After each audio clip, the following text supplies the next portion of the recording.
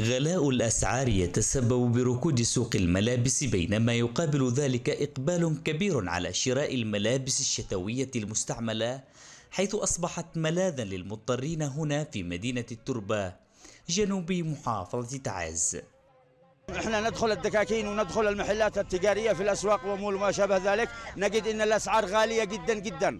الجاكيت الواحد يتكون من 30000 من 40000 ريال يشتي وإحنا حقنا الفلوس يعني لا تكفي هذا. فالحل الوحيد والخيار الوحيد هو أن إحنا نذهب إلى الذي يبيعوا هذه الثياب والكيتان والدقلات لكي نتقي منها البرد من أصحاب البسطة وأصحاب الحراق الذي يبيعوا هذه. لأنه هذا يعتبر الحل الوحيد لنا كي نقي أنفسنا من البرد القارس هذه الأيام.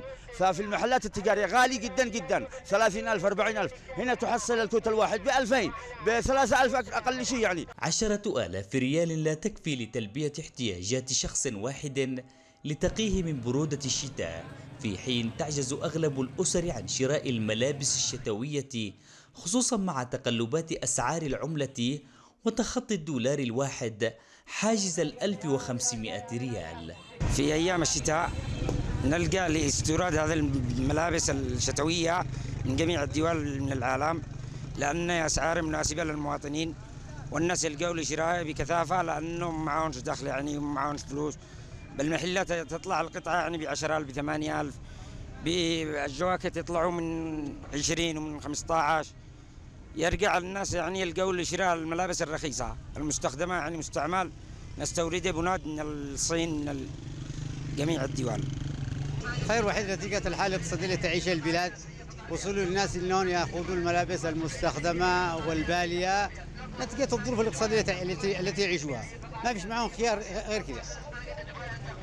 رغم العواقب الصحية للملابس المستعملة لكن يلجأ المواطنون إلى شرائها وذلك نتيجة تردي الأوضاع الاقتصادية الصعبة حيث يتم استيرادها من عدة دول حول العالم وبكميات كبيرة.